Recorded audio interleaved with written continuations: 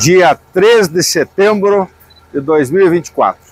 Eu quero que vocês registrem essa data, porque é uma data histórica.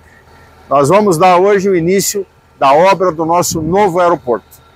Assim como tantas obras importantes que nós fizemos e grandiosas, muita gente duvidava, muita gente não acreditava e as coisas aconteceram. Eu chego aqui na Gaúcha para dar o início para essa obra que não é para o prefeito Kleber, que não é simplesmente para esse momento, é para os próximos 50, 100 anos de Francisco Beltrão, para os nossos filhos, para os nossos netos, uma cidade com desenvolvimento e que terá um novo aeroporto para poder crescer e muito, beneficiando toda a nossa gente.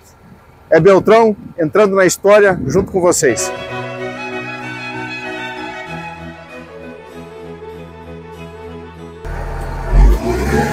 Vamos acelerar cada vez mais.